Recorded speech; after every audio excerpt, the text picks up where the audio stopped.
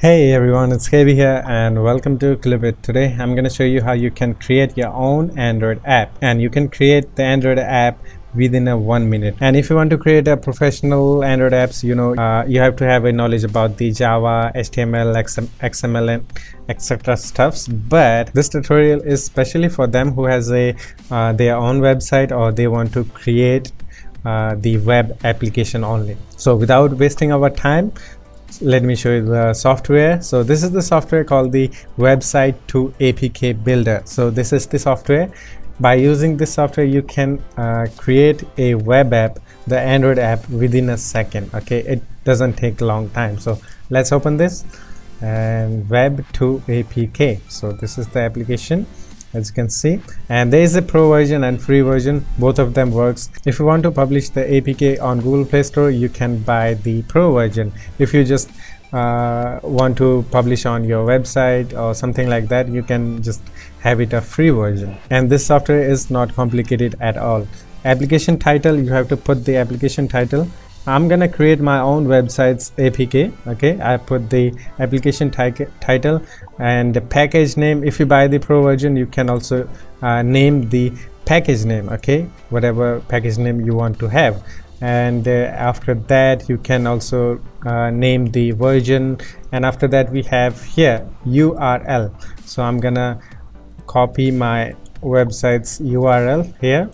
And after that I'm gonna paste it here I'm gonna remove the HTTPS okay just like this okay and uh, now I can change the icon. I can uh, I'm gonna choose my icon my logo here as you can see and we are done. That's all we have to do to create your own create our own website.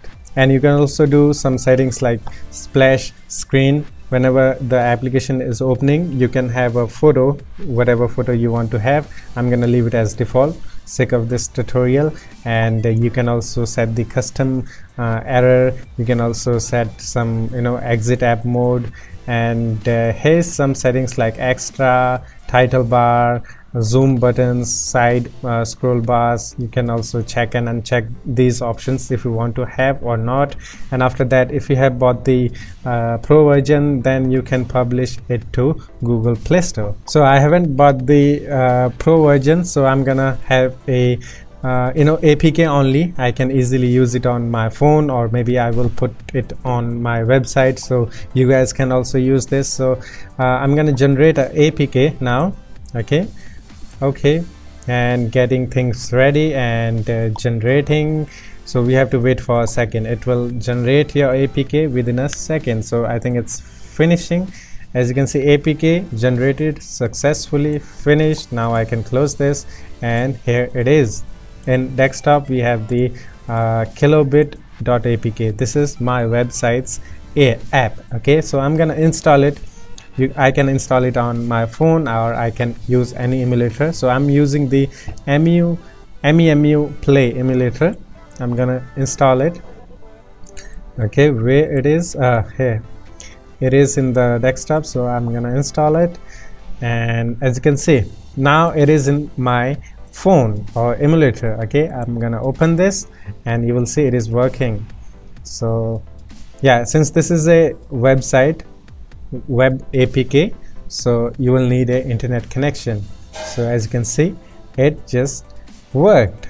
So now i just created uh, my website's apk so that's how you can create your own website's apk within a minute. And i think that's all for this one. I will put link in the description for this software called the website to apk builder pro. I will put link in the description. Go there and get this. And uh, yeah i will see you in the next one. Take care of yourself and fun bye bye